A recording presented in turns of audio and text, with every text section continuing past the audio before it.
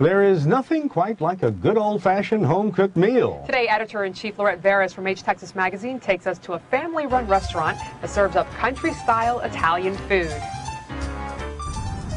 Family owned and operated by Giancarlo and Anna Cavatore since 1984, they welcome you to their establishment, which is a replica of a 100-year-old barn in Bastrop, Texas. Let's see what we sampled. We started with the pasta pescatore. That is loaded with shrimp, scallops, mussels, and clams, all in an Alfredo cream sauce.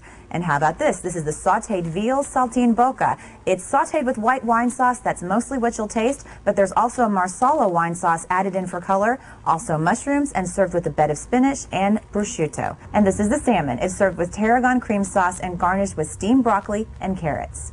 Okay, you've just had heaping helpings of Italian food. You might be a little full. Certainly you'll find something here you can at least share. Tiramisu, one of my personal favorites and always good at every Italian restaurant. Cannelloni, they add some special cherries in here to make it pink. But here's a real treat. This is white chocolate mousse. They actually melt the white chocolate in the back, dip a balloon to make the edible bowl. And this is a very, very special Cavatore coffee with lots of secret liqueurs to give it that extra kick. Let's see how Cavatore stacks up when we rate them with golden forks. Romantic dining, three out of five. Definitely a family restaurant where you should bring the kids and have a romantic time at the same time. Family friendly, three.